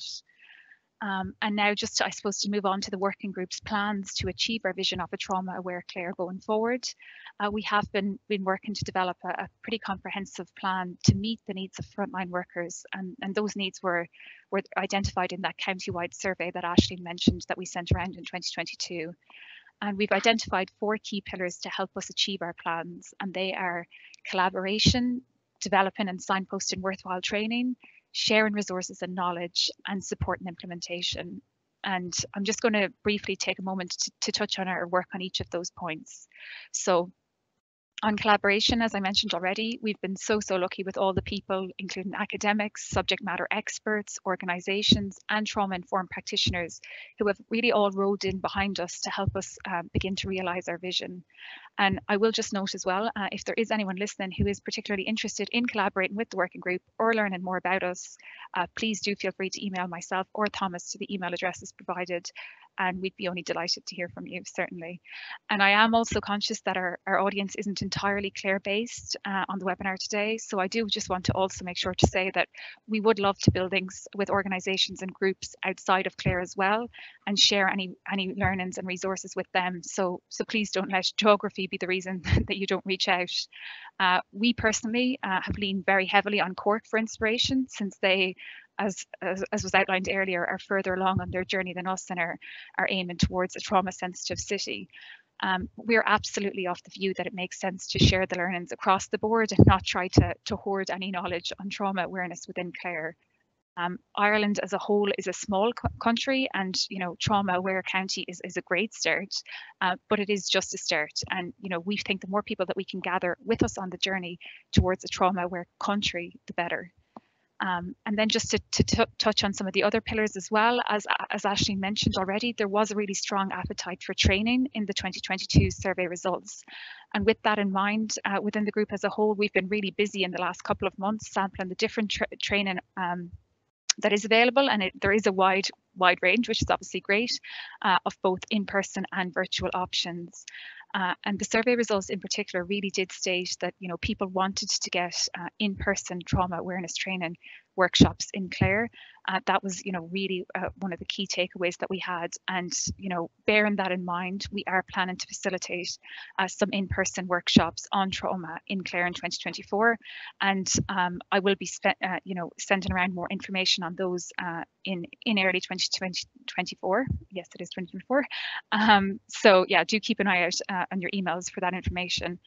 Um, and ultimately down the line, um, I suppose just to give you a, sense of, of, where we're, we're hoping to go, we are um, we are aiming to coordinate a comprehensive training plan for practitioners at various level of training needs. Again, recognising that different organisations and different people are at different stages in their journey and also maybe looking for different things out of out of trauma training. And we're also hoping to use our shared learning from the experience of working group members, um, as Eileen and, uh, Eileen and Cora have already done today, and also the learnings from other trauma-informed organisations to help develop an implementation plan for services, which they can then use to, to begin to support their, their own journey towards uh, being more trauma aware. And just as you wait for 2024 to roll around for all that training on the topic of resources, I do just want to flag again that we have a collection of recommended resources uh, available on our Padlet um, and that they are all um, you know recommended resources on trauma that we have reviewed. Uh, they are all completely free to access um, and can be can be accessed through the QR code or the link which will be um, which will be shared um, here uh, and there is an awful lot of information there, but the Padlet is broken down into categories, and that will hopefully help direct you to what is most relevant and interesting to you. And I would also just like to stress that it is a continuous work in progress, and we will be adding to it going forward. So it's not, you know, a fully exhaustive list, um, and we are absolutely open to any suggestions or feedback that you might have on that. Uh, we will also be looking to add our resources to the Clare CYPSC website on trauma, including a copy of this webinar, a link to the Padlet and a resource pack. And we also want to make sure that we are promoting any upcoming events on trauma that would be relevant for frontline workers in Clare. So again, just feel free to reach out if you think that anything should be flagged by the group. And on that note, for those for whom it's applicable, just keep an eye out for the upcoming workshop on vicarious trauma, compassion fatigue and self-care, self-care which will take place in Clare uh, in March of 2024. And we'll follow up later today anyway with an email and we'll then plan to send around a quarterly update on the workings of the working group, uh, which will include like things like changes to the Padlet, any upcoming future events and the signposting to any training. Um, but, uh, you know, if anyone receives the email and wants to be removed from the list, of course, just let us know and we'll be happy to do so.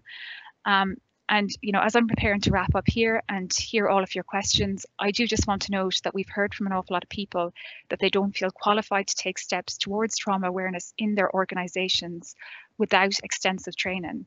And obviously, we fully endorse the idea of building your knowledge on the topic and of course, we plan to support you and offer multiple supports to do so. Um, however, we as a working group really wanted to use the, the webinar today to stress the importance of implementation following on from any webinars and training, rather than kind of falling into the trap of paralysis by analysis, where you know it can be overwhelming really to find a place to start.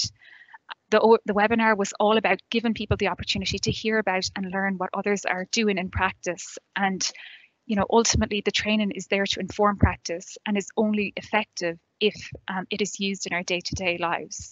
And what we really hope that you take away is what can be achieved even on a very limited budget uh, if you have a can-do attitude and the willingness to take a few simple steps. And again, we just say, like, please don't make perfect the enemy of, of good.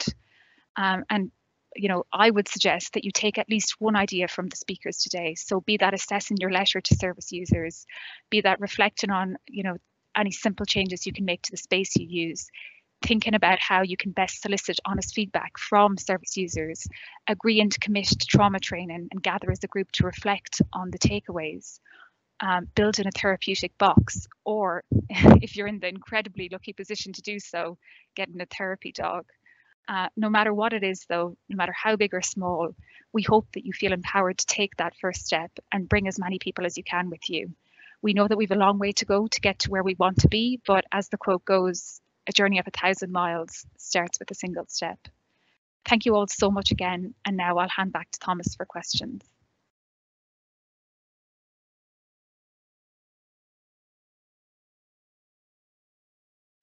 Thank you, Lisa Marie. Um, that was great. And I suppose one of the big things that strikes me in that is, as you said, sharing of the knowledge that's come across in all of the speakers today.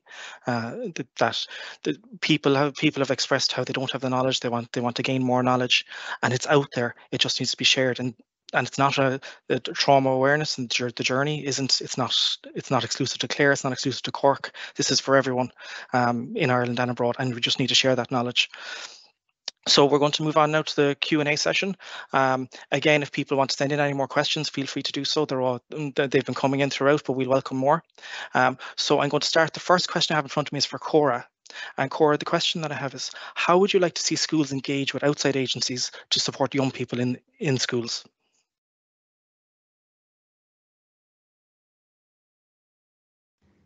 Um, hi, Thomas. Thanks very much. Very good question. And it's a really complex um, situation. So we would have, for any student who has, um, you know, struggling with their well-being or mental health, we'd often have to engage with, you know, maybe um, TUSLA, there might be psychology involved, there might be family support workers. And in schools, it, it can be very difficult to know what it, where everybody's going or, you know, what's what you know what the program for that person might be or they might be engaging with outside counselling so I suppose it would be really, really good if we can practice, um, something like a Meitheal where people can sit around together and, you know, take a trauma lens, trauma approach to supporting that young people. In school, we've a practice here that, you know, we would try and engage, bring parents and guardians and all the services involved with a student and um, together. But it, it's very difficult from a school's perspective trying to do it, trying to agree various different um, you know people's calendars and their diaries. But i think it needs to become practice. I think all the all the you know multi agencies need to agree that school have an important part to play in the well-being and mental health of young people. So i think it needs to be um, not just uh, kind of on the agenda for schools but with all the agencies um, and all the the supports out outside um, the schools. Yeah. Thanks very much, Cora. Um, so moving on, the next question I have is for Eileen and Jacinta. Um, was there any resistance to, be, to becoming more trauma aware, uh, such as around the lines of training fatigue when you implemented the your journey? Yeah, yeah, and uh, again, a very good question, and I suppose we can we can all be in where, where there's you know a lot of demand on training of different types. Um, I suppose for ourselves in relation to trauma awareness, the Cork e-learning is a really good starting point. Um, it's it's 45 minutes, I think, to do uh, as a as a, and it's hugely informative. There's a lot of material in it. The way it's you know presented, um, you know, supports getting a, a basic knowledge. Um, and I think it was very doable for our team, you know, so the ask wasn't huge. And I suppose that that ask came in conjunction with all the other bits of foundation that we'd started to put down in terms of the relationship-based practice, the session we had with Sharon, the session we had with Jennifer Hayes, you know, the relationship-based practice session that we had. So we were starting to do these small inputs together as a team, and then, you know, making that request, I suppose, for the e-learning was was another kind of relatively doable input to ask for the team. Uh, I think what really made that uh, actually come alive was the, the sharing afterwards. And not just leaving that as a box ticked that's that the team has done it.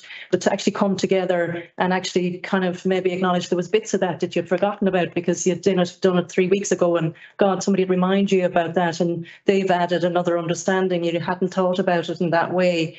So i suppose you know i think it is about balancing the demands that maybe are on your team the time that your team members have but also actually seeing the value then of making a start with something and actually, you know, bringing the team together to consolidate and integrate that actually understanding of the learning that they've done on their own. I, think as well, it's it's it's making like I suppose something we were really conscious of all the way along. It wasn't imposing something. Like each step we took, we reviewed what would we need next or what would help us understand more. And I think the other part was acknowledging we all enter into this information in different ways. So, eh, like, you could have had certain trainings that wouldn't have suited some people, you know, so you had a variety, whether you were reading something, whether you were looking at something, the discussion, you know, for some for some people it was really, important. It had to be practical, like show me what it looks like, you know, eh, like as opposed to maybe reading about it, you know. So I think it's it's what are the needs of your group? And then also then the piece that you review as you go. Like we didn't kind of have a major plan. You were learning as you were going. And and we all were you know it, it was acknowledging there were no experts in it but yet there was lots of expertise in it within the group as well. Yeah that's great. Thanks very much for that. Um, there was another question that came in asking if the welcome letter could be made available. Um, we will we'll send a template of that out to attendees uh, af after the webinar. Um, Sharon, the next question I have is for you. So um, you touched on compassion fatigue and burnout in your presentation, and Cork is much further along in its journey than Clare. Has there been any feedback from practitioners in relation to compassion fatigue or burn or burnout? Are they witnessing an impact since Cork started its journey? Um, so it varies across organisations in terms of walking the walk and talking the talk. So one of the things that we do know is that uh, compassion fatigue has increased in most frontline services, and anyone who works in frontline service will know um, that it's actually quite difficult to get people and to keep people. Um, people have changed the way that they're working since COVID. A lot of people have reflected on themselves and uh, their own work-life balances and whether they they want to continue in roles they were in in the past. Um, I can't remember who, who I think was Lisa Marie uh, spoke there, you know, about you know not only within organizations are there challenges there are organizations within the community and then there are global challenges so every single human being really who has any ounce of compassion is concerned about uh, the, the direction in, in which things are going political instability. And i mean getting up this morning realizing that elon musk you know is trying to interfere in, in irish politics you know stop the world want to get off like but um what we what we know from from looking at the services is that there are organizations who were really proactive. So they put in things like access to external uh, counseling you know but not just EAP services where nobody actually rings, you know, picks up the phone and rings, but getting somebody to come into the organization. I'm thinking of a particular school now in Cork where there were a lot of challenges and a lot of difficulties for the students and the parents. So they have a therapist who comes in once a month and they do group supervision with the teachers. Um, so where organizations went that extra mile, that has made a difference. Where other organizations are floundering, they are, you know, experiencing those challenges of staff going out sick and um, dealing with HR issues, etc. Sorry, that was a very long answer. It's the last week of term. I have nothing left in my batteries. you might not be happy with me then, Sharon, because I have more questions for you. Um, so Sharon, when there's a traumatic event such as the one in Dublin last week, the community, the government and the organisations are often quick to respond with services and so on. But what advice would you have for schools or, or community organisations that experience a traumatic event or critical incident? The first thing is to mind yourself because you know I know a lot of people talk about this in training about when you get on an airplane with children they tell you to put on the mask yourself so the first thing to do is to mind yourself. I I did hear somebody talking on the radio this morning saying that they were really annoyed that only two psychologists were sent out to the school where the incident occurred. I'm actually surprised that they were able to find two psychologists to go because we don't have enough. So so sometimes you have to like if we're relying on external agencies to to send people in, they just may not have them because resources are really stretched. So the first thing to do is to mind the staff team, make sure that you're all okay, that you're all grounded and what supports do you need. And um, the second thing is thinking about do you need what kind of interventions do you need? So so often there's a look to psychology. And I would say psychology is for moderate to severe mental health issues. Psychology is not an answer to to everything. So using resources that we already have, one of the best resources we have for young people is the people who already exist in the community, like youth workers and social care workers, the people who already have relationships with young people and families. So if we take care of them, then they can support the, the young people and the families, and you may not need uh, external people coming in in the way that that we sometimes think that we do sometimes it can make the situation worse because they don't have a relationship with with the the community services or or the kids and and their families. Thanks very much, Sharon. Um, my next question is for for Cora, Eileen, and Jacinta. And Eileen, I know you have to you have to leave a little bit early, so I'll I'll pose it to you first. Were there any unforeseen difficulties or obstacles that you had to overcome um, on this journey?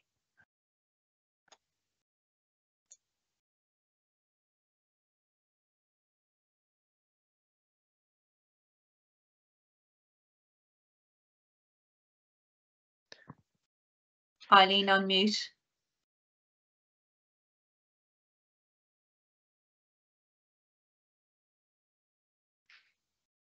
Sorry about that.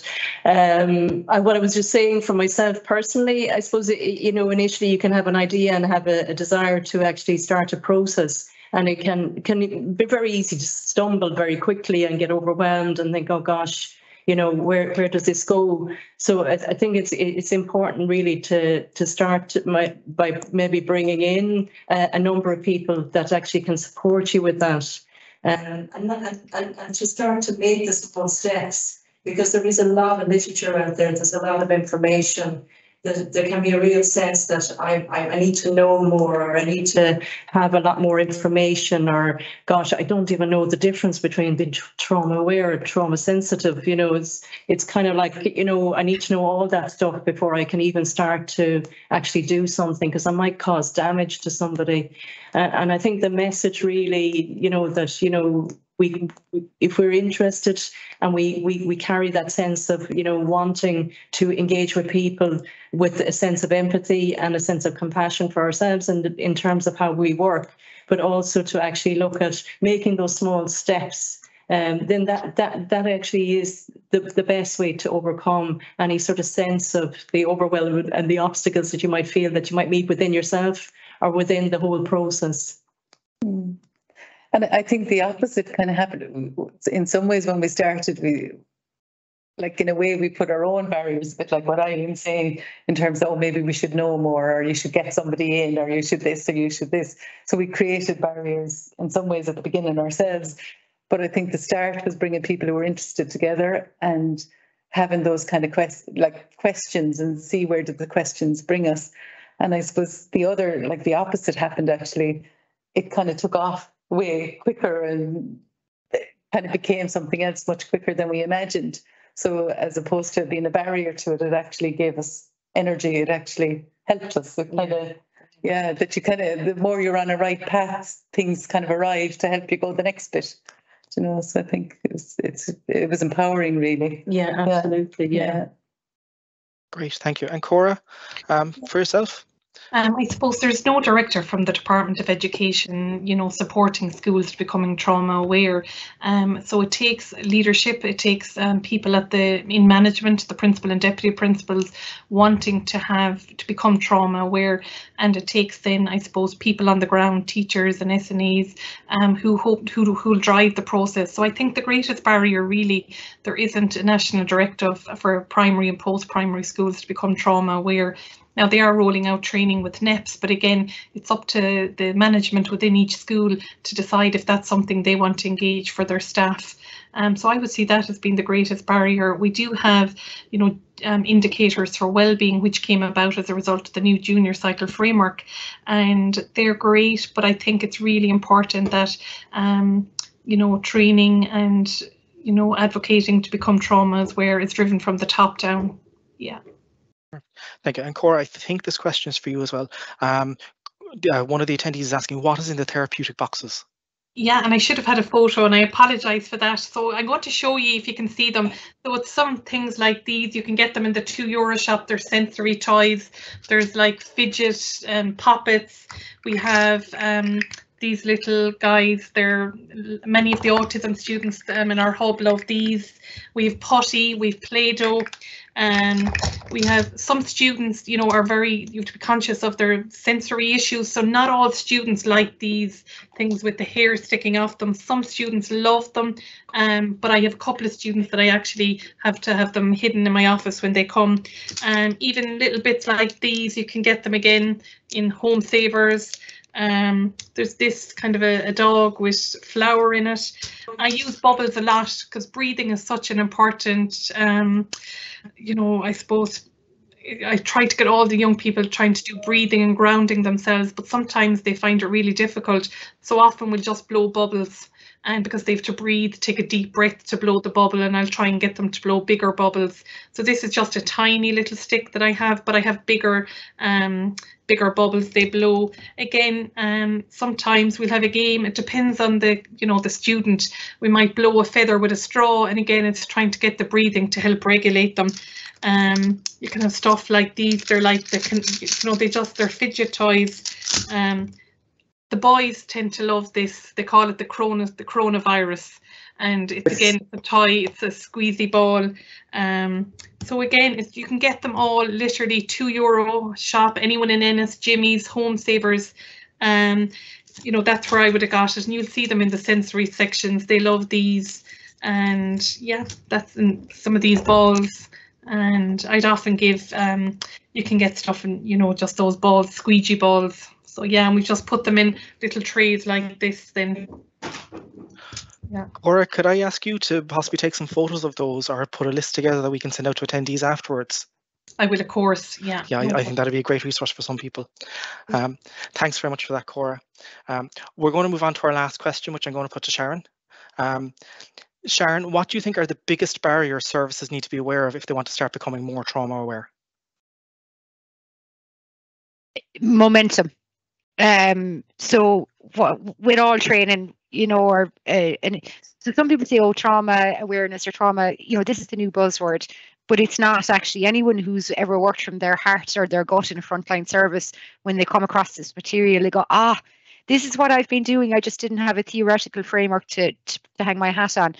Um, so for those people, and, and you know, when Jacinta and Eileen were talking earlier and they were saying about how many of their own staff had already gone ahead and and and you know participated in training. So so that when you have that momentum or that coalition of the willing that you appropriately support those people with time and resources to make sure that they can continue to follow it through.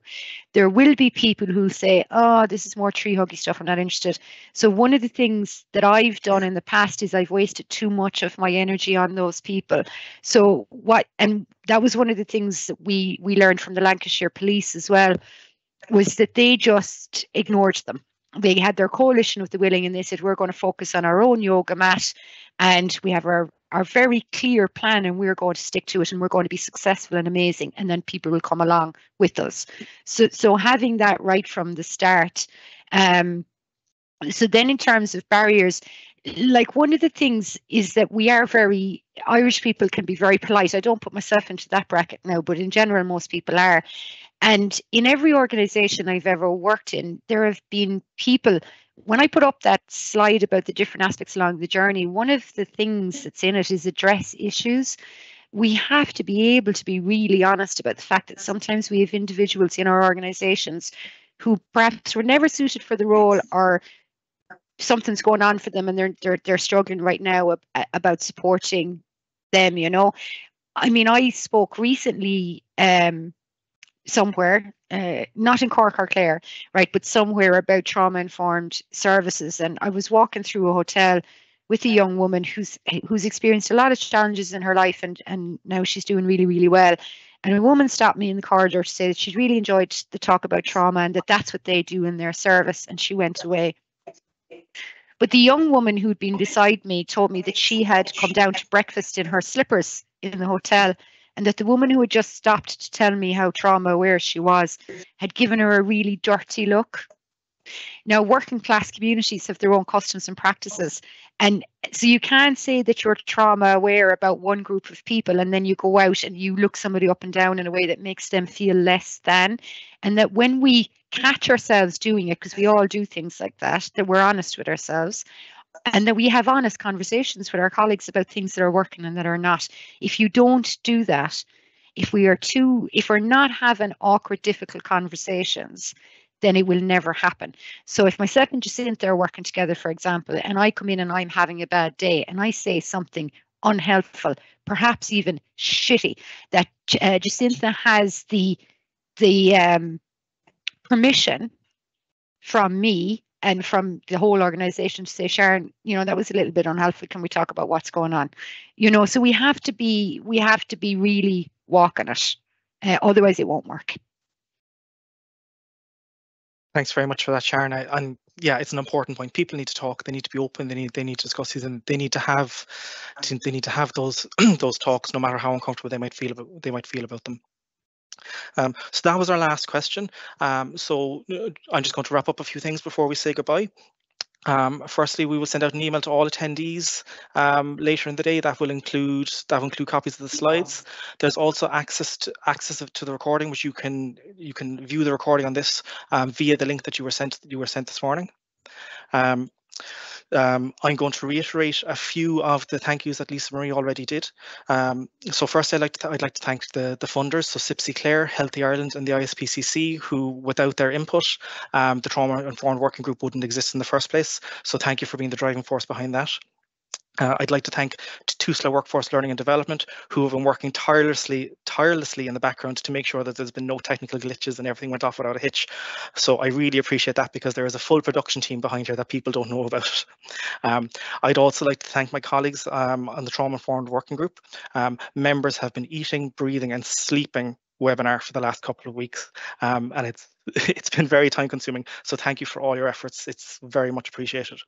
And finally and most importantly i would like to thank all the speakers ashling sharon eileen jacinta cora elisa marie. It is not an easy thing to to get up in public, even behind a computer screen, uh, and speak in front of and speak in front of over 100 attendees. When asked, everyone was was more than willing, delighted to do so, and that is very much appreciated.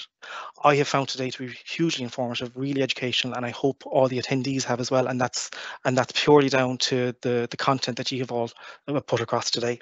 Um, so that's all I have to say. I hope everyone here found it as informative and educational as I did.